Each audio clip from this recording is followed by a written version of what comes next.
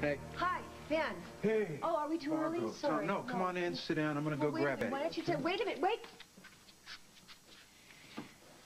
Well, this test better show something. Well, I wouldn't get my hopes up. The kid's got a history of violence, honey. The kid was sleepwalking, Tom. He didn't know what he was doing, where he was. I know. That's what you want to believe. You want my opinion, the kid's faking it. So, Eddie, how'd it go last night? Why don't you ask him? Okay, Ben, how'd it go last night? Uh, we ran a battery test on Eddie. Uh, drug screening, overnight polysomnography that measures sleep patterns. You want to just say that all again in layman's terms? What uh, Dr. Sleep here is trying to say is there's some good news and some bad news.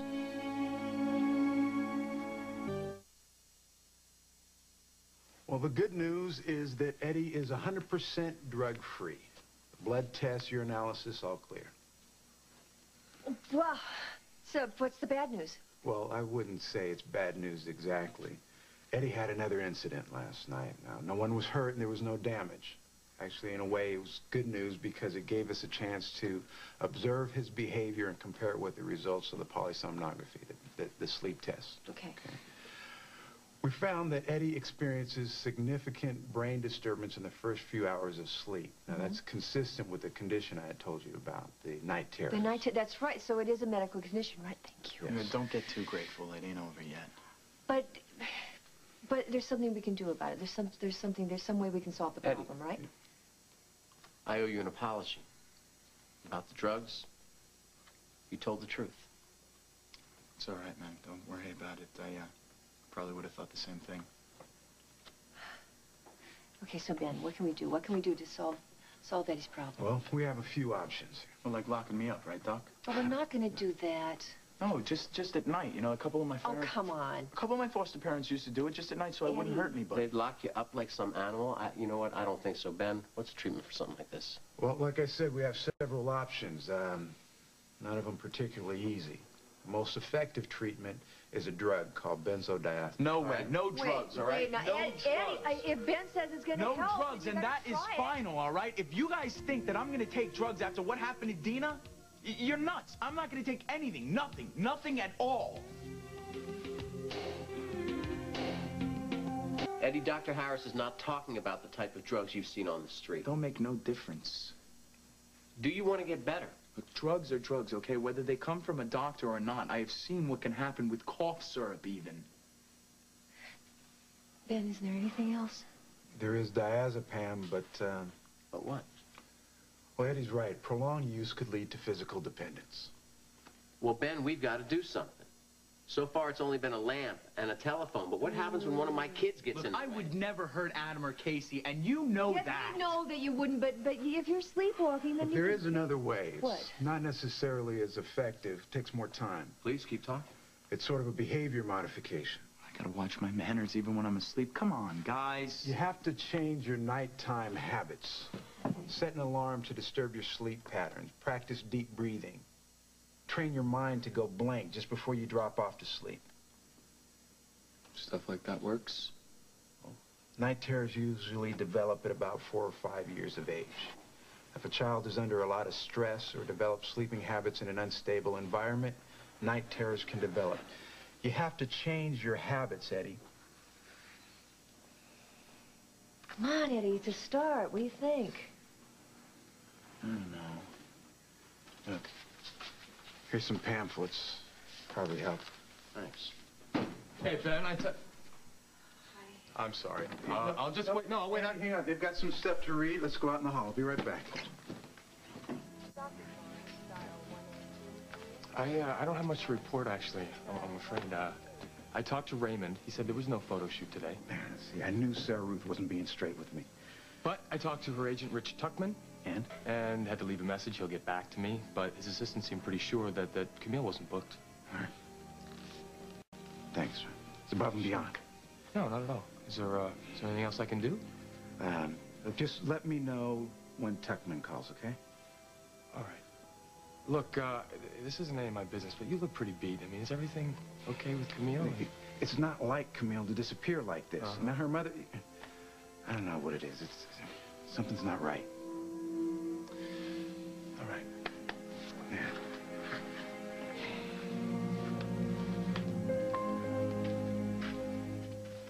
Well, this stuff is wild, man. I have to get up and, like, do something, like, four times a night. Yeah, well, that's going to break the pattern. Yeah, but when do I sleep? When the terrors are over, I mean, that's the whole point. Eddie, you gotta do something. I guess it's worth a shot. Good. I'm going to schedule you for a psychological evaluation. No complaints. It's just part of the process, okay? Okay. I'll check on you a couple days. Make sure you're doing all right. Thank you so much, Ben. This has given us a lot of hope. Best part of the job. So do you want me to run you home, Eddie? No, I, uh, I gotta take care of some things. You sure? It's an awful long haul. Yeah, I, uh, I kinda just need some time to myself, okay? Okay. I'll see you, Doc. Yeah.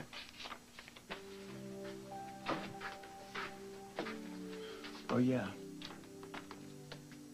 Thanks, man. Thanks, man. It's a tough kid. He just needs time to absorb all of this. All right, I'm cool with it, so it looks like there's some reading to do. Thanks, man. Easy. Thanks, man.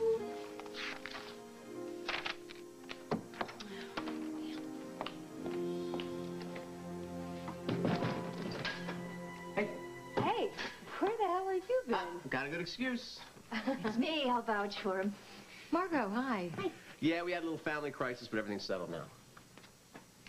So, if you're going to keep him hard at work here, I'm going to take you to lunch, okay? I guess you haven't heard the big news. What's the big news? According to sources down at the police station, it could be James Stenbeck's back in town. Ugh. What'd you learn down at the station? Not much. Jack's on it. Jack is back in town? Yeah, I gave him a lift back from Chicago. Of course, he wants me to kill the whole story. Well, I don't blame him. You print that. We don't have a chance, Emily. What are you talking about? I have to print this. I, I'm gonna, I'm gonna print the story Oh, side no, by side. Come on. If you Ja- go with that, then we you you compromise the investigation. Margo, this dropped into my lap. I have responsibility to print the news. Tom, will you explain this to your wife, please? Yeah, honey, she has a good point. I mean, the public has a right to know. James has been on the lam for years. I mean, a story in the Argus isn't going to change that. Look, I don't mean to sound rude, but we've got a lot of work to do. and We got a deadline, so. Fine. Guess I'll get back to work at the station. Uh, honey, let Jack handle that. It's your day off. You know what? If you get to go after Stenbeck, so do I. You know what? You're supposed to be taking the boys over to Graham's. You know what? I disremembered that. And somebody's got to be at the house when Eddie gets home. All right. All right. You're right. You're always right. I know that. You're right. Mm. So, Emily, you don't keep him too late. No promises.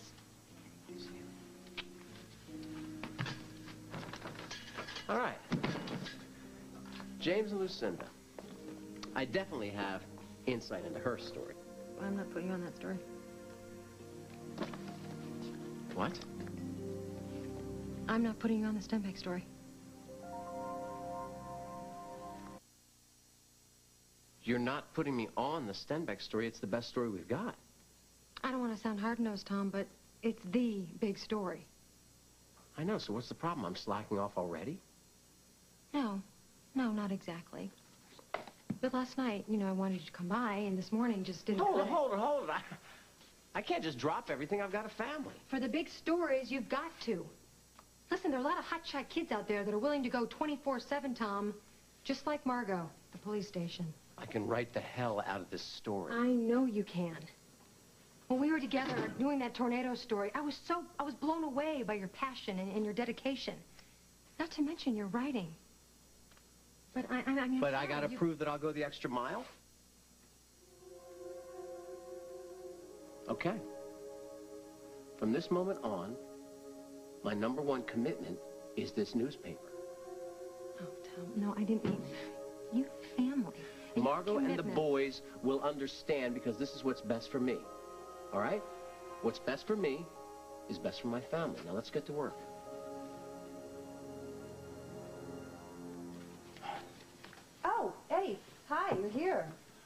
I Yeah. didn't think you were going to come home. I thought you wanted to be alone. Oh, yeah, I just, uh, I just got home. You fixed the light. Yeah, all it took was a little glue. It's great. See, it's good as new. Great, great, great. almost. Well, fine. What, you went to Java? Yeah. I, uh, I got a job, too. You did? You got it. That's great. Well, it's, it's nothing fancy. It's just bussing Oh, tables, does it? cleaning up the no, kitchen. that's wonderful. It's when, when, when do you start? What's your schedule? Do you get to dress slow up? down, dress slow down. I can only answer one question at a time. Eddie, that is just, I'm so proud of you.